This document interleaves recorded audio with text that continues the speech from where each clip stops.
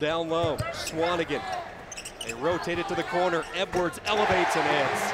Very nice ball movement. And big guys. So he heads to the bench. Swanigan, a quick trigger on a three, and the freshman drills it. Side, had a good look at it, and just rolled out. Kendall Stephens, back-to-back threes for the Boilermakers. Misses his first shot. Quickly, the Boilers back and forth we go, and Dakota Mathias connects. High school, he ended up at Hofstra as Davis pumps up a three and slashes her through. Bell Haynes with his first three points of the game. Here's a three ball and nothing but net for Vince Edwards. Edwards around the hoop, spots Stephens, three-pointer, he is good again. Edwards skips it, same spot, Stephens again, good again!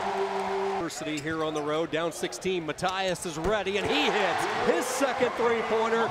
With a technical in the first half, Vermont down 12, make it 15 as Cline hits. Just good look at a three, Edwards uncorks and rattles it in. Swanigan for three. Bingo. Thought about the three. Instead, Mathias cranks it up and in. Lawson there, the big body. Here's a three by Mathias. This kid has not missed today. Spark plug for Becker and company last year.